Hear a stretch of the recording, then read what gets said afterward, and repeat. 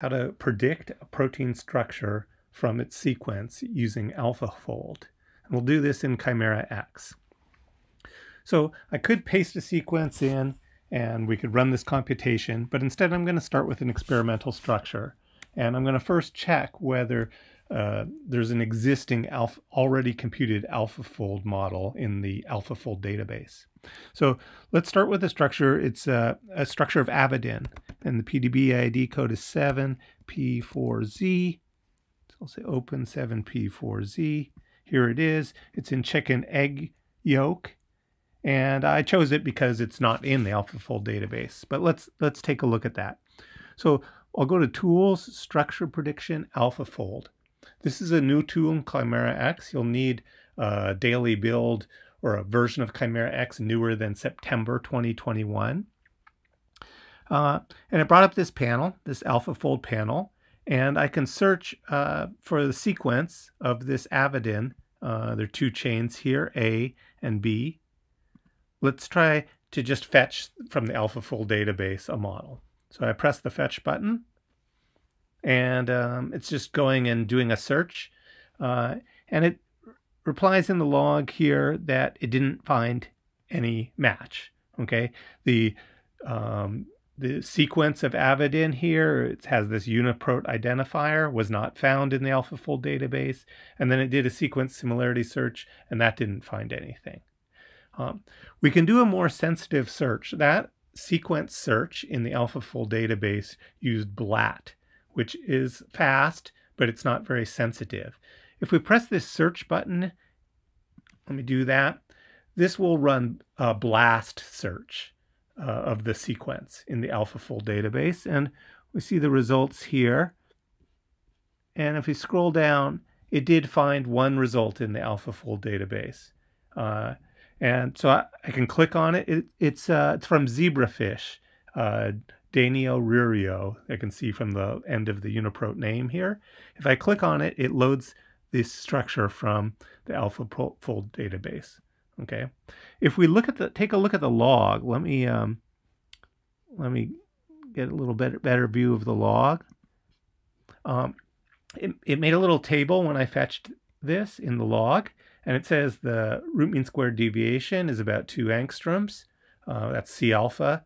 Um, between the experimental and the predicted structure, so not too bad. But the sequence identity is 40%. So I might want to uh, work with a, a, predict, a structure that's 100% identical. And so now we're going to try to run AlphaFold to predict such a structure. All right, so to do that, I press this predict button and it will bring up a panel. This is going to run it on Google's servers a service called Google Colab. These are cloud uh, servers that allow you to run Python code. And um, we're going to ask it to run AlphaFold. The unique thing about their servers is they have GPUs, graphic processors, and AlphaFold needs that to do this computation. Okay, so the first thing, since we're using Google servers, it's asking me to sign in to, to Google. Um, so let me click sign in you want to leave this page? Yes. Let me sign in as uh, me. So I just signed in with my normal Google account. And now it's going to try to run uh, AlphaFold using some code that ChimeraX sent it that's in Python. And it's just warning me that, hey, you're running this code that's not from Google. It came from ChimeraX. So we'll say run anyway. All right, so this uh, window is a just a web browser window showing Google Colab, this uh, service, this cloud service, compute service. Uh, ChimeraX has pasted in the sequence. We can see here at the, this, it, and we're going to see a log here as it's doing the computation. It says the sequence is 121 amino acids long. That's a very short protein sequence, um, but it's going to take about an hour to do this computation. Okay, I've successfully done sequences that are 500 or 700 amino acids, but larger than that, I've run into trouble where uh, Google Google Virtual Server says it's out of memory, or there's a CUDA GPU error. So so far, uh, the limit I've I've got is about 700 amino acids, and that took two to three hours. Okay, so we're not going to wait uh, the hour for this to complete. I, I ran this uh, a few hours ago, and I'm just going to show you the result. So I'm going to, let me hide this ChimeraX, and I'll bring up my other ChimeraX where the job is already completed. Okay, so this is the same uh, the same Google Colab window, but it run earlier. I can see at the very bottom it says it took 45 minutes to run. And the log uh, says a number of things. First, on this Google virtual machine, it said to install uh, HMMER, which is a sequence alignment tool, install AlphaFold, which is makes the structure prediction, install OpenMM, that does energy minimization on the final structure. So it installs some things on the cloud server.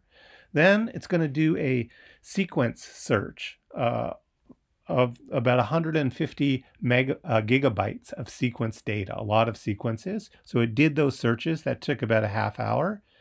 And then it creates a multiple sequence alignment. It found 1,379 sequences. AlphaFold likes to have hundreds of sequences to thousands of sequences in the alignment to produce a good structure. It, AlphaFold then produced five models from using this neural network. Uh, and then energy minimized the best one, and that one was automatically loaded into uh, into ChimeraX, and it's shown in blue here. Okay, the structure we were looking at a second ago in our other um, ChimeraX was 40% uh, identical zebrafish avidin, but this is the exact sequence of the chicken uh, avidin. Okay, uh, one more detail I'd like to tell you. Uh, this Google Colab is a service of Google is free. All you have to do is have a Google account, but um, it's limited. And one of the, the limitations vary about how much you can use it, but roughly uh, you can only use it two hours per day. And since these compute jobs take an hour on, with AlphaFold or two, or can take two or three hours for a longer sequence, you may run out of time and then kicks you off and your job, your computation doesn't complete. Um, so I'm actually running with Colab Pro, which is a paid service. I pay Google $10 a month, pretty modest amount, and it just gives me, uh, I think, up to 12 hours of running on their servers per day and gives me higher priority access, more memory on the machine, and um, better GPUs, faster GPUs. So if you end up using AlphaFold a lot through this uh, this tool, this Google be a Google Colab, you might want to uh, think about paying for Colab Pro.